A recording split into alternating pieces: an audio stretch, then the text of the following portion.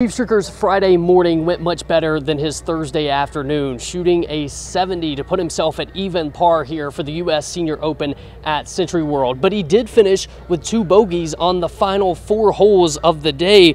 Nonetheless, Stricker says the tournament is still there for the taking, and with a good performance during the weekend, he has a chance to become a two-time U.S. Senior Open champion. I'm paying attention to who's up there on top and, and where the lead is at.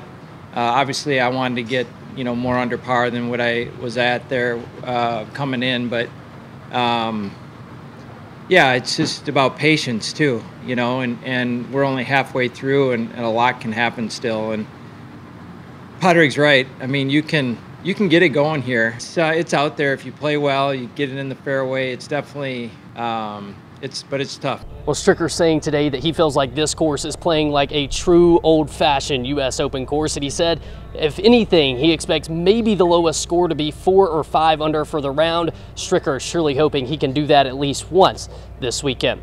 Reporting from the U.S. Senior Open for 27 Sports, I'm Luke Gamble.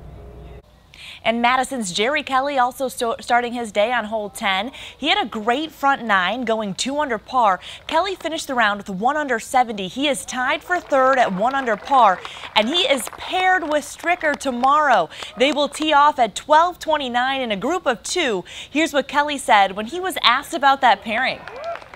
Uh, that, that would be incredible. I mean, yeah, that's a fairy tale week even for us. I mean, it's pretty cool.